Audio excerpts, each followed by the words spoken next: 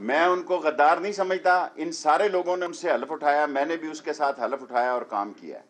میں صدر مشرف کو نہ غدار سمجھتا ہوں، نہ کرپٹ سمجھتا ہوں۔ میں میں نے اللہ کو جان دینی ہے۔ میں نے بھی ان کے ساتھ دو دفعہ حلف اٹھایا as a rail minister as a information minister Asif Zardari نے بھی ان سے حلف لیا ہے ان سب لوگوں نے حلف لیا۔ ہے اب وہ آخری ہفتے کی، آخری بیچارے زندگی کے ہفتے نہیں، معافی چاہتا ہوں۔ سو وہ جا رہا ہے تو اس کے کیا کہنا پھر؟ کوئی ضرورت جی۔ ہمیں ہدایت کی گئی ہے کہ اس پہ بات نہیں کرنی۔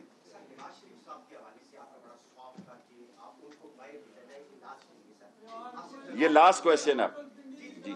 جی۔ چلو چلو، خیر اچھا کرے کرو یار لاسٹ کوشچن یہ کریں۔ کریں۔ میں سمجھتا ہوں کہ اگر نواز شریف بطور مجرم ملک سے باہر جا سکتا ہے تو آصف زرداری کا حق بنتا ہے کہ بطور ملزم وہ باہر جائے۔ Thank you